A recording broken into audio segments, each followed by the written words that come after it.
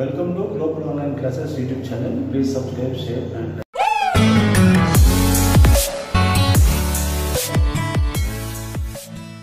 కణ విభజన గురించి మనం ఇంతకు ముందే నేర్చుకుని ముందు వీడియోలో నేర్చుకున్నాము. ఇప్పుడు కణ విభజన అనేది ఏ విధంగా జరుగుతుంది?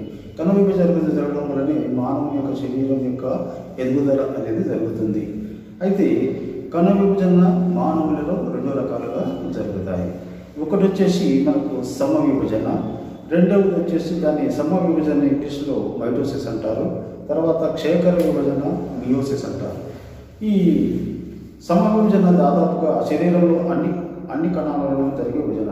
శరీరంలో అయితే కొన్ని కోట్ల కణాలు ఉన్నాయి. ఆ అన్ని కణాలలో కూడా ఈ యొక్క సమ విభజన అనేది జరుగుతుంది. దీని అందు ఒక తల్లి కణం అంటే ఏదైతే కణం ఉంటుందో దాన్ని తల్లి కణం అని అంటామో. ఆ తల్లి కణం విజ విభజన చెంది రెండు పిల్ల కణాలుగా మారుతుంది.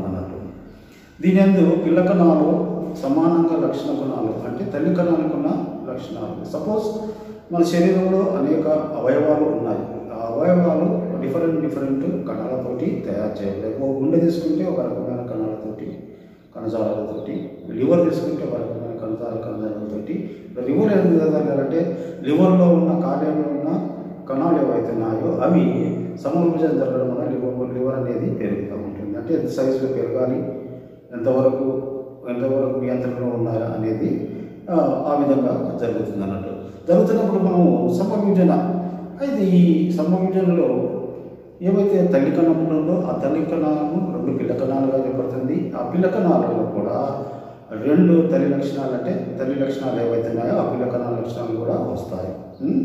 ఉదాహరణకు అంటే తల్లిలో తల్లి కణంలో టూ ఎక్స్ క్రోమోజోమ్లు ఉన్న ఉన్నప్పుడు రెండు పిల్ల కణాలు కూడా టూ ఎక్స్ క్రోమోజోమ్లు చొప్పున వస్తాయన్నమాట ఏర్పడతాయన్నమాట తర్వాత రెండవది వచ్చేసి క్షయకరణ విభజన.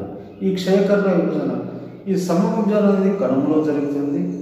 ఈ క్షయకర విభజన అనేది అంటే స్త్రీ అంటే స్త్రీ బీజకణము తర్వాత పురుష బీజకణము రెండు కలయికల ద్వారా ఈ యొక్క క్షయకర విభజన అనేది జరుగుతుంది అన్నమాట. మరి అది క్షయకరణ విభజన అనేది ఈ విధంగా జరుగుతుంది? ఇది అంటే పునరుత్పత్తి బీజ కణాలలో జరిగే విభజన బీజ కణాలు బీజ కణాలు అంటే ఏంటివి? అంటే స్త్రీ బీ- స్త్రీ బీజము స్త్రీ బీజం అంటే అండము పురుష పురుష బీజము అంటే శుక్ర కణాలు లేదా వీర్య కణాలు లేదా పురుష బీజ కణాలు ఈ రెండు కలయిక వల్ల జరిగే పద్ధతిని మనము క్షేకరణ విభజన దాన్ని మనము మియోసిస్ అని అంటాం అన్నట్టు ఇంకోటి ఇప్పుడు ఈ పద్ధతి అనేది ఏమిటంటే ఒక తల్లి కణము ఈ పద్ధతి అనేది ఒక తల్లి కణము. నాలుగు పిల్ల కణాలుగా ఏర్పరుస్తుంది. తర్వాత ప్రతి పిల్ల కణంలో తల్లి కణంలోని ఆ సంఖ్య తల్లి కణంలోని క్రోమోజముల సంఖ్య కన్నా సగం మాత్రమే క్రోమోజోములు పంచబడతాయి. తల్లి కణంలో ఉన్నదానికంటే సగం క్రోమోజోములు మాత్రమే ఈ ఇందులో కనబడతాయి ఇతర కణాలకు పంచబడతాయి. వీర వీర్య కణాలు వీర్య కణాలు అంటే మనం వాటిని శుక్ర కణాలు అంటాము వాటిని మనము పురుష బీజ కణాలు అంటాము. ఇందులో మరియు అండము వీర కణాలు అంటే పురుష బీజ కణము తర్వాత స్త్రీ బీజ కణములు. ఈ విధంగా ఏర్పడలేదు. అయితే ఈ విభజన ఇంకా విపులంగా జననేంద్రియ వ్యవస్థలో తెలుసుకోవచ్చు. అంటే మనం ఏదైతే రిప్రొడక్టివ్ సిస్టమ్ ఉంటుందో అందులో ఈ యొక్క క్షేత్ర విభజన లేదా బియోసిస్ గురించి మనము క్షుణ్ణంగా నేర్చుకున్నాం. ప్రస్తుతం మాత్రం సమ విభజన అంటే కణములో మానవ శరీరంలోని కణములో జరిగే సమ విభజన అనేది ఏ విధంగా జరుగుతుంది.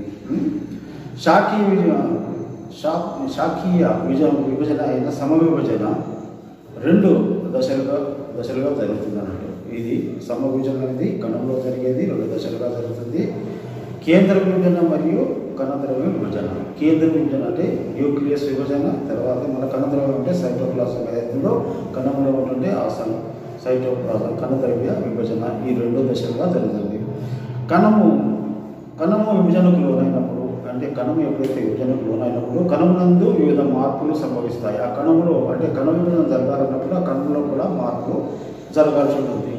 అయితే ఒకవేళ మన పరిశీలన సమయం కోసం కణమునందు సంభవించే ఈ మార్పులు ఏవైతే ఉన్నాయో ఈ కణములో అంటే సమవిభజనలో జరిగే సమవిభజన కొరకు కణములు జరిగే మార్పులు ఏవైతే ఉంటాయో ఆ మార్పులను జీవశాస్త్రవేత్తలు ఏం చేశారంటే జీవశాస్త్రవేత్తలు జీవశాస్త్రవేత్తలు నాలుగు దశలుగా విభజించారు.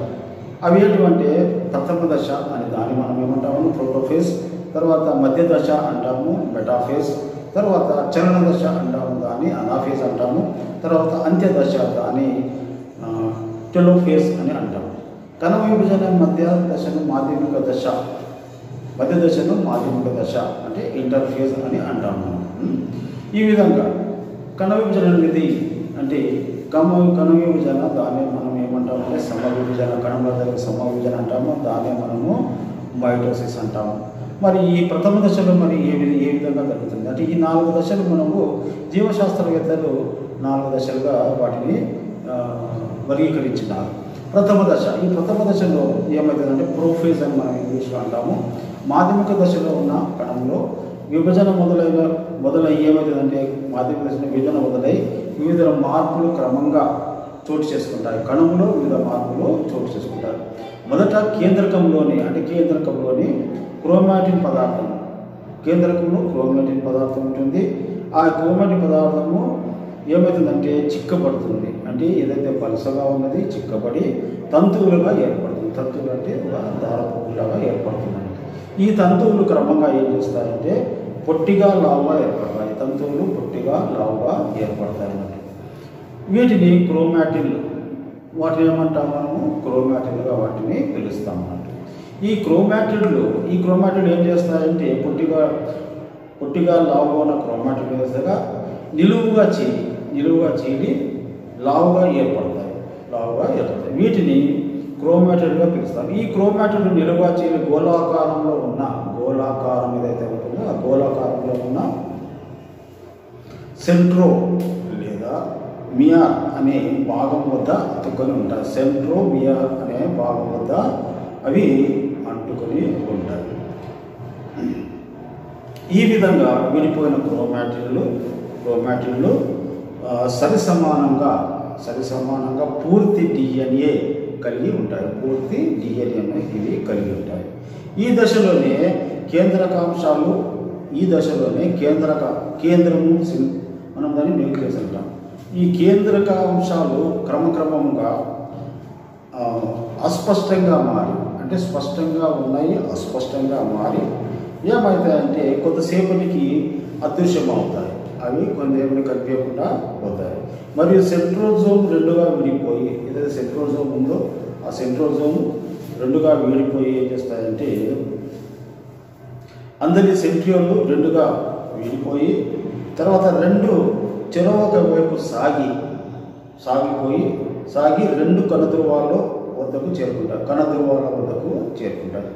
కణం యొక్క ధ్రువాల వద్దకు అవి చేరుకుంటాయి తర్వాత ఈ సెంట్రియోల్లోని సెంట్రియోల్లోని సూక్ష్మ నాళికలు సెంట్రియోల్లోని సూక్ష్మ నాళికలు ఏవైతే ఉన్నాయో ఆ సూక్ష్మ నాళికలు క్రమంగా సాగి రెండు వైపుల నుండి క్రోమాటిన్లను క్రమంగా సాగి తర్వాత క్రోమాటిన్లను అంటే క్రోమాటిన్లో ఏవైతే సెంట్రియోల్ క్రోమాటిన్ ఉన్నాయో కణ మధ్య భాగంలో సాగి ఏం చేస్తారంటే రెండు వైపుల నుండి క్రోమాటిన్లను చేరి సెంట్రోమియర్ వద్ద కలుస్తాయి సెంట్రోమియర్ వద్ద కలుస్తాయి. ఆ విధంగా క్రోమాటిన్లను క్రోమాటిన్లను కణ మధ్య భాగంలో ఉండేటట్లు చేస్తాయి. క్రోమాటిన్లను కణ మధ్య భాగంలో ఉండేటట్లు అవి చేస్తాయి. ఈ విధంగా సూక్ష్మ నాలికలచే ఏర్పడిన వ్యవస్థను ఏమంటామంటే మైటాటిక్ స్పిండిల్ అని పిలుస్తారు. మైటాటిక్ స్పిండిల్ అని పిలుస్తారు. తర్వాత నెక్స్ట్ దశ వచ్చేసి మనకు మధ్య దశ. దాన్ని మనము మెటాఫేజ్ అంటాం. మెటాఫేజ్ ఇది సమవిభజనలోని రెండవ దశ. ఈ దశ ఈ దశలో క్రోమాటిన్ జతలు క్రోమాటిన్ ఏదైతే ఉందో ఆ యొక్క కణంలో ఆ క్రోమాటిన్ జతలు కణ మధ్యంగా మధ్యరేఖ పై వరుసలో మధ్యరేఖ పై వరుసలో చేరుతాయి. మరియు ఏమవుతాయంటే ఆ విధంగా చేరి వీటి యొక్క సెంట్ సెంట్రోమియర్ నుండి సూక్ష్మనాళికలు సెంట్రోమియర్ నుండి సూక్ష్మనాళికలు కణము యొక్క ఇరు ధ్రువాల వైపు ఇరు ధ్రువాల వైపు అంటే రెండు కొల్ల వైపు సాగి ధ్రువాలతో కలుస్తాయి. ఇది రెండవ దశ. మూడవ దశ వచ్చేసి చలన దశ అనాఫేజ్ అంటారు. చలన దశ. ఈ మూడవ దశ ఈ దశలో ప్రధానంగా సెంట్రోమియర్లు సెంట్రోమియర్లు ఏవైతే ఉన్నాయో ఆ సెంట్రోమియర్లు విభజన చెంది రెండు క్రోమాటిన్లు వేరవుతాయి. రెండు క్రోమాటిన్లు వేరవుతాయి. ఈ క్రోమాటిన్లు ఏమవుతాయంటే సమాన గుణ సమాన ఈ క్రోమాటిన్లు సమాన గుణ ధర్మ ఆకార నిర్మాణాలను కలిగి ఉంటాయి. సమాన గుణ ధర్మ ఆకారాలను ఇవి క్రోమాటిన్లు కలిగి ఉంటాయి. ఈ విధంగా వేరు వేరైన క్రోమాటిన్లు క్రోమోజోమ్లు అనబడతాయి. వీటి ఈ విధంగా వేరుపడిన ఏవైతే క్రోమాటిన్లు ఉన్నాయో అవి క్రోమోజోమ్లు అనబడతాయి. క్రోమోజోమ్లుగా పిలువబడతాయి. ఓకే? మరి అవి సూక్ష్మ నాళికల సహాయంచే కణము యొక్క సూక్ష్మ నాళికలు ఏవైతే ఉన్నాయో సూక్ష్మ నాళికల సహాయంచే కణము యొక్క ఇరు ధ్రువాల వైపు అంటే రెండు కొనల వైపు ఇరు ధ్రువాలు లాగబడతాయి. అందుకే ఈ దశను చలన దశ అంటారు అంటే ఇందులో కదలికలు ఉన్నాయి కనుక దీన్ని మనము చలన దశ అని అంటాం. నాలుగోది వచ్చేసి అంత్య దశ దాన్ని మనం ఏమంటామంటే టెలో ఫేజ్ అని అంటాం. టెలోఫేజ్ అంటాం. ఇది సమగ్రంలో చివరి మరియు నాలుగవ దశ. This is the last and fourth phase okay? ఈ దశలో మార్పులన్నీ ప్రథమ దశకు వ్యతిరేకంగా జరుగుతాయి. ఈ మార్పులని ప్రథమ దశలో ఏదైతే జరిగినాయో ఈ అంత్యదశ ప్రోఫేజ్ టెలోఫేజ్ ఏదైతే ఉందో ఈ టెలోఫేజ్ వచ్చేసి ఏదైతే ప్రథమ దశ అంటే ప్రోఫేజ్ ఏదైతే ఉందో ఆ ప్రోఫేజ్కు వ్యతిరేకంగా వ్యతిరేకంగా జరుగుతాయి అంటే వ్యతిరేకంగా ఏ విధంగా జరుగుతాయి? ఈ దశలో ఒకే రకమైన క్రోమోజోముల సముదాయాలు ఒకే రకమైన క్రోమోజోముల సముదాయాలు. ఇరువైపుల ధ్రువాలకు వద్దకు ఇరువైపుల ధ్రువాలు. ధ్రువాలు అంటే కణం ఉంటుంది కనుక ఇరువైపుల ధ్రువాలు. ఆ ధ్రువాలకు వద్దకు చేరుతాయి. వాటి చుట్టూ వాటి చుట్టూ ఏముంటుంది? కేంద్రక త్వచము నెమ్మదిగా ఏర్పడుతుంది. వాటి చుట్టూ కేంద్రక త్వచము నెమ్మదిగా ఏర్పడుతుంది. కేంద్రక అంశకాలు తిరిగి కేంద్రక అంశకాలు అంటే కేంద్రకంలో ఉండే పదార్థాలు ఏవైతే ఉన్నాయో ఆ కేంద్రక అంశకాలు తిరిగి ఏం చేస్తాయి? ఏర్పడతాయి అంటే కేంద్రం తర్వాత మైటాటిక్ స్పిండిల్ మైటాటిక్ స్పిండిల్ అనేది అదృశ్యమై క్రోమోజోమ్ తత్తువులుగా సాగి క్రోమోజోమ్ క్రోమోజోమ్ తత్తువులుగా సాగి ఏం చేస్తాయంటే తిరిగి క్రోమాటిన్ పదార్థంగా మారిపోతుంది ఇలా రెండు ఒకే పోలికలు కలిగిన రెండు పిల్ల కేంద్రకాలు అంటే రెండు పిల్ల కేంద్రకాలు ఆ యొక్క కణంలో ఏర్పడతాయి. తర్వాత తర్వాత కణద్రవ్య విభజన. ఇప్పుడు కణంలో జరిగింది కణంలో ఉండే సై కణద్రవ్యం అంటే సైటోప్లాసం. సైటోప్లాసం ఏ విధంగా విభజన చెందుతుంది? అయితే మొదటి దశలో కేంద్రకము సమానంగా విభజన చెంది. అంటే మొదటి దశలో ఏదైతే మనం ప్రోఫేజ్ అన్నామో ఆ ప్రోఫేజ్లో కేంద్రకము కణం యొక్క కేంద్రకం ఏం చేస్తుంది? సమానంగా విభజన చెంది. రెండు పిల్ల కేంద్రకాలుగా ఏర్పడతాయి. సమానంగా విభజన చెంది రెండు పిల్ల కేంద్రకాలుగా ఏర్పడతాయి. తర్వాత దశలో కణ మధ్య భాగంలో కణద్రవ్యం తర్వాత దశలో కణ మధ్య భాగంలో కణద్రవ్యంలో ఏమవుతుంది కణద్రవ్యంలో ఒక నొక్కు ఏర్పడుతుంది. నొక్కు కణద్రవ్యంలో ఒక నొక్కు ఏర్పడుతుంది. అది అలా లోతుగా సాగి అంత్యదశలో ఆ కణాన్ని రెండుగా విభజిస్తుంది. అంటే లోతుగా ఏర్పడి అంధంలో దాన్ని చేస్తుంది రెండుగా విభజిస్తుంది అన్నమాట ఈ విధంగా కణద్రవ్యము కూడా సమానంగా పంచబడి అంటే కణములో ఉండే కణద్రవ్యము పిల్ల కణాలను కూడా సమానంగా పంచబడుతుంది. పంచబడి కేంద్రకాన్ని కలిగి ఉండి తిరిగి అన్ని కణ కణ భాగాలు అందులో ఏర్పడతాయి. అన్ని భాగాలు ఏర్పడతాయి. మళ్ళా కణ విభజన ఆ విధంగా పూర్తవుతుంది. ఈ విధంగా రెండు స్వతంత్ర పిల్ల కణాలు ఈ విధంగా రెండు స్వతంత్ర పిల్ల కణాలు మరి సమాన గుణ ధర్మాల నిర్మాణ ఆకారంలో ఏర్పడతాయి. ఇది కణ విభజన. అంటే కణ విభజన మనకు అంటే సమ విభజన కణములో జరిగే విభజన. మరి క్రోమోజోములు ఈ క్రోమోజోములు ఉన్నాయి కదా కణంలో ఈ క్రోమోజోముల యొక్క ప్రాధాన్యత ఏంది? మరి ఈ క్రోమోజోములో ప్రాధాన్యత ఏంది? ఈ క్రోమోజోములు తల్లి అంటే పురుష శిశువు కానీ పురుషు తర్వాత స్త్రీ శిశువు కానీ ఆడ శిశువు కానీ మగ శిశువు కానీ ఏ విధంగా ని- నిర్ధారణ అనేది ఏ విధంగా జరుగుతుంది ఏ విధంగా ఏర్పడతాయి? క్రోమోజోములు ఉన్నాయి. క్రోమోజోములు మానవుని కణములందు అంటే మానవుని కణములో నలభై ఆరు క్రోమోజోలు ఇరవై మూడు జతలుగా ఏర్పడి ఉంటాయి. ఒక్కొక్క జతలో ఒక్కొక్కటి ఒకటి తండ్రి నుండి ఒకటి తల్లి నుండి సంక్రమించి ఉంటాయి. ఒకటి తల్లి నుండి ఒకటి తండ్రి నుండి సంక్రమించి ఉంటాయి. ఈ క్రోమోజోములు తల్లిదండ్రుల అనువంశికరం శిశువులు చేరవేస్తాయి. అంటే తల్లిదండ్రుల యొక్క లక్షణాలను ఈ క్రోమోజోముల వల్లనే తండ్రి తల్లిదండ్రుల లక్షణాలు అనేటివి పిల్లల్లోని వస్తాయి. వీటి ద్వారా శిశువు యందు వీటి ద్వారా శిశువు ఎందు తల్లిదండ్రుల సంబంధించిన లక్షణాలు తల్లిదండ్రులకు సంబంధించిన లక్షణాలు ఏవేవంటే వస్తాయి. ఏవి వస్తాయంటే ఆకారము తర్వాత శరీరం యొక్క ఎత్తు నిర్మాణము తర్వాత వెంట్రుకల రంగు తర్వాత ఎముకల పెరుగుదల మొదలైనవి లక్షణాలు తల్లిదండ్రుల నుండి వారి సంతానానికి చేరబడతాయి. క్రోమోజోముల పని. ఏవైతే కణంలో ఉండే క్రోమోజోములు. అయితే లింగ నిర్ధారణ ఏ విధంగా జరుగుతుంది? అంటే ఆడ శిశువు మగ శిశువు ఏ విధంగా ఏర్పడుతుంది అనేది కూడా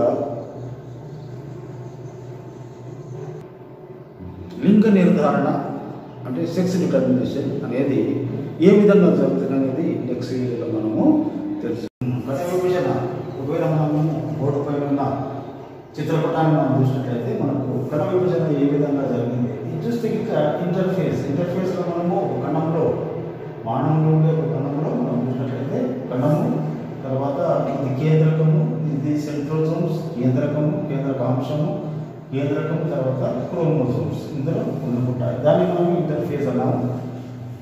ప్రథమ దశ పని ఏ విధంగా జరుగుతుంది? ఏ విధంగా జరుగుతుంది అన్నప్పుడు ఇంకా చూడండి సెంట్రో సెంట్రోజోమ్ ఇక్కడ ఉన్నాయి కదా ఇక్కడ సెంట్రోజోమ్స్ ఈ యొక్క ప్రథమ దశలో ఏమైనా ఇక్కడ మనకు ఈ కొనకు ఈ కొనకు ఇవి చేరుతున్నాయి సెంట్రోజోమ్స్ తర్వాత ఆ సెంట్రోజోమ్స్ మధ్యన స్పిండిల్స్ అన్నాము. ఇంతకుముందు స్పిండిల్స్ అని నేర్చుకున్నాం. ఇవి స్పిండిల్స్ అని అంటాం.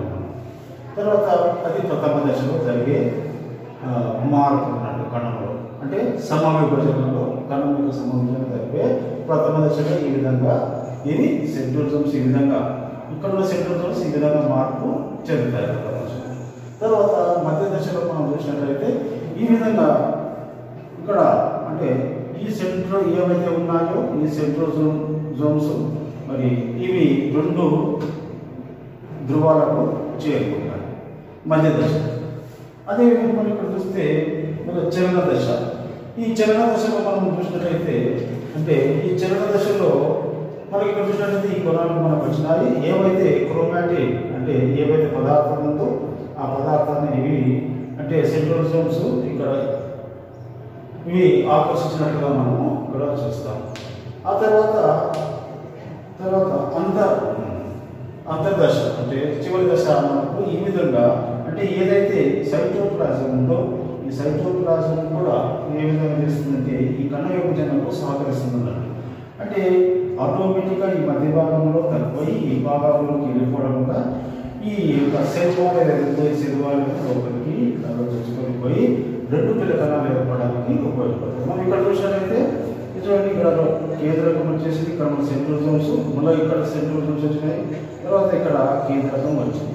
ఈ విధంగా వచ్చేసి రాను ఈ విధంగా చేసి ఈ కణం అనేది ఇక్కడ అంటుకొని పోయి తర్వాత చివరికి ఈ రెండు పిల్ల కణాలుగా ఏర్పడుతున్నాయి. ఇది కణంలో జరిగే సమవిభజన thank you very much for watching this video please subscribe share and like